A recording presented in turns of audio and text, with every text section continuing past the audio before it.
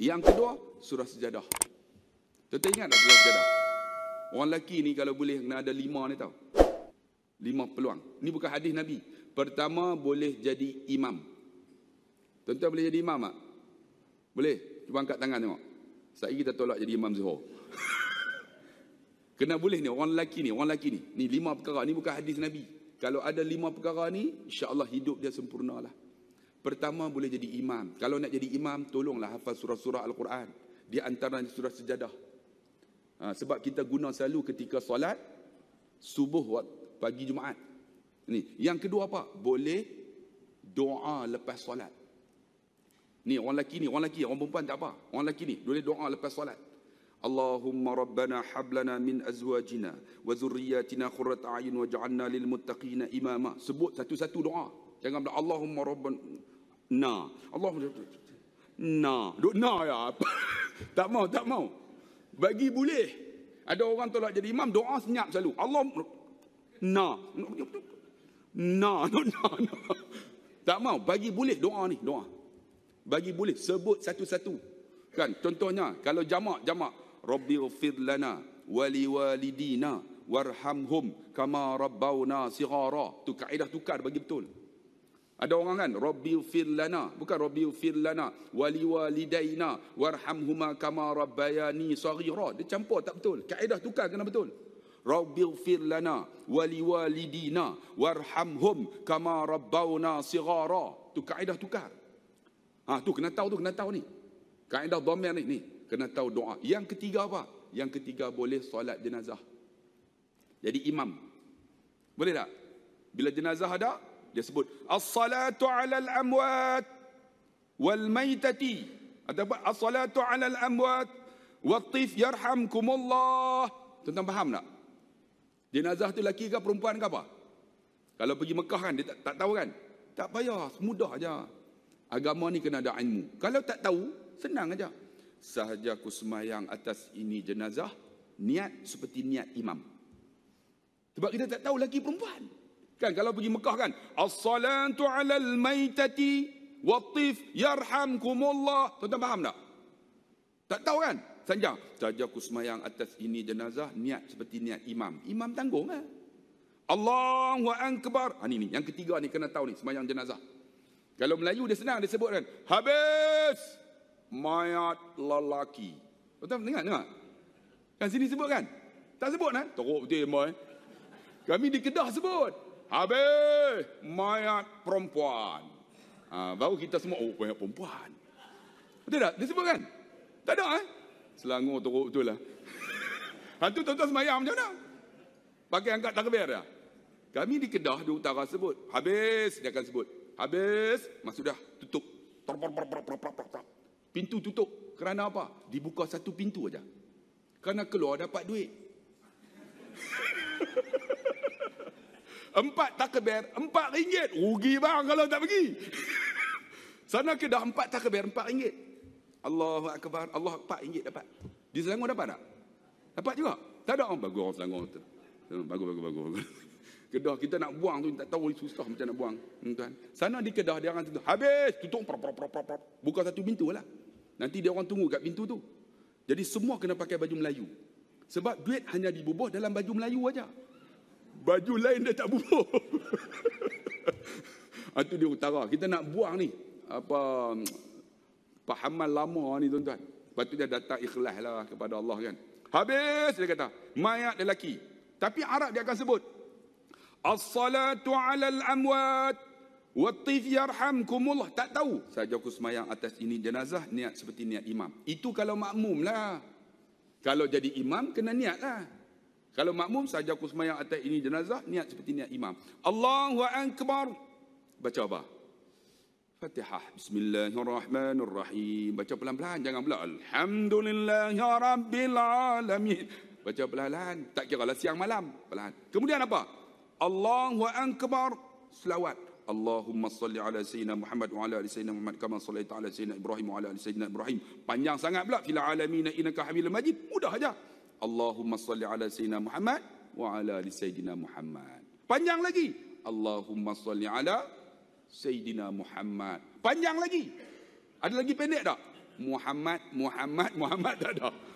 Paling pendek Allahumma salli ala Sayyidina Muhammad. Allahu Akbar. Kita tak tahu laki perempuan. Kita nak buat macam mana? Jamak. Allahumma ufir lahum warhamhum. Mudah ya. Kalau boleh tiga ni, Alhamdulillah. Allahu Akbar. Nak doa boleh? Tak doa boleh. Allahumma la tahrimna ajrahum wa la tahjimna ba'dahum waghfir lana wa lahum wa la ikhwanina allazina sabaquna bil iman wa la taj'al fi qulubina ghillan lil ladzina amanu rabbana innaka raufur rahim. Nak doa boleh? Tak doa boleh. Assalamualaikum warahmatullah. Dapat satu khirat. Satu khirat itu sebesar bukit Uhud. Panjang 32 km, lebar 16 km. Ni orang lelaki kena tahu ni ni ni ni. Allahu akbar. Fatihah. Allahu Akbar. Selawat. Allahu Akbar. Allahumma ufir lahum warhamhum. Kalau kita tahu lelaki. Allahumma ufir lahu warhamhu. Kalau perempuan. Allahumma ufir laha warhamha. Kalau pondan. Orang tanya, kena jawab. Kalau pondan, Allahumma ufir lahu ha ha ha ha. jangan, jangan. Kalau tuan-tuan buat macam tu mayat bangun terus tuan-tuan. Saja saja. Tanya ya jawab, jangan tak jawab tuan-tuan. Uh, macam Tun Mahathir lah. Kalau tanya ya apa nama? Apa nama? Duk apa nama? Apa nama? Orang, orang utara ni bagus tuan-tuan. Semua apa nama? Apa nama? Tu trend-trend. Apa nama?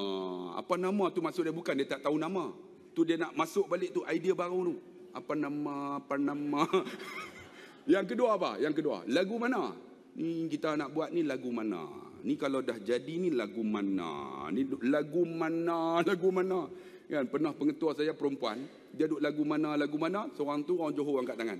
Puan Hajah, kita nak menyanyi lagu apa Puan Hajah? lagu mana?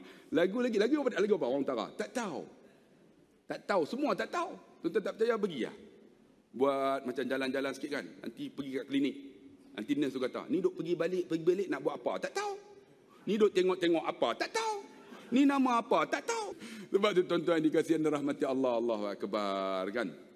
Sebab itulah kita ni, kat mana lah pergi ni tuan-tuan Allah lupa dah.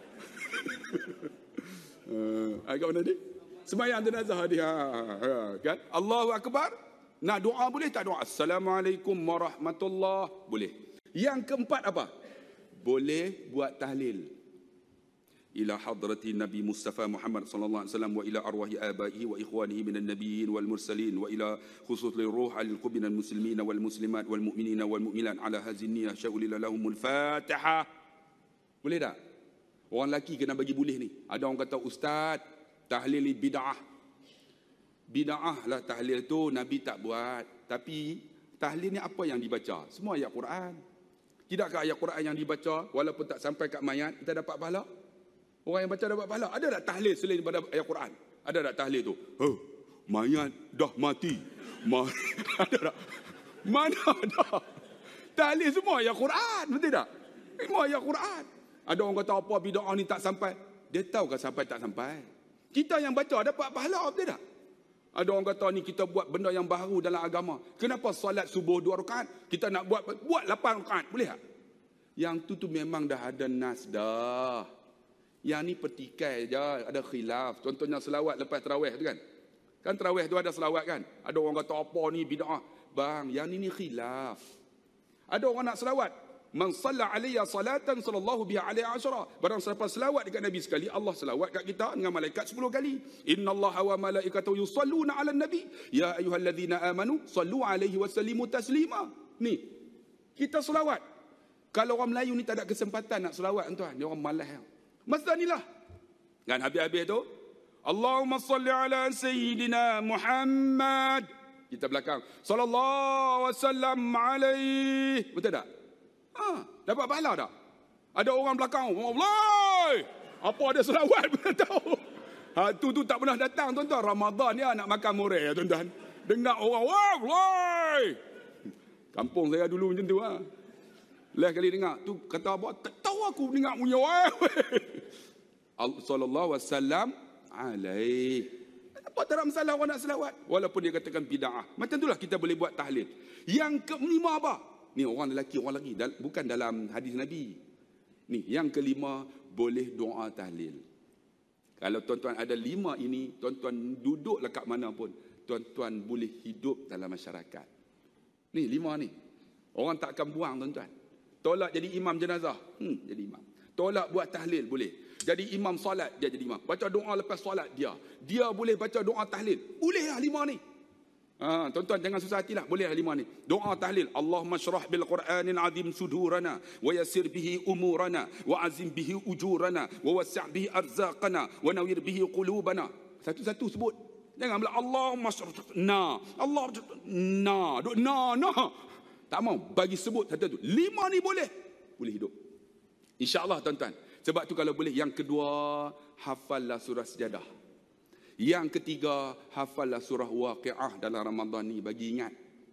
Ha, bagi ingat, bukan hafal saja, bagi ingat.